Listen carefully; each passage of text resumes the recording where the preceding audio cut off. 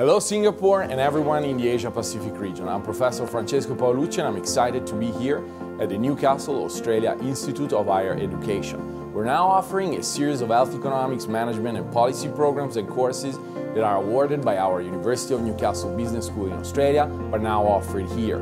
Our unique programs consist of 12 courses that provide students with a practical toolkit of skills in leadership, management, policy and governance, and economics for the healthcare sector.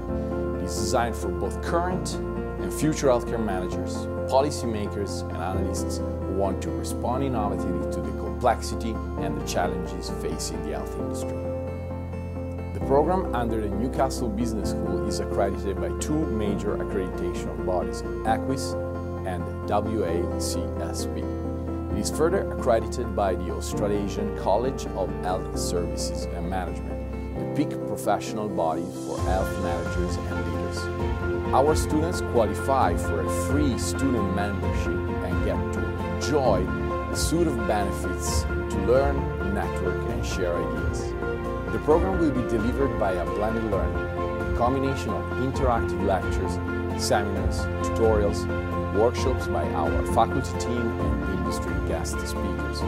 Classes will be held at our Singapore campus at the National Library in Bugis, which is easily accessible by any mode of transportation. I hope to meet you in person very soon and looking forward to welcoming you to our program.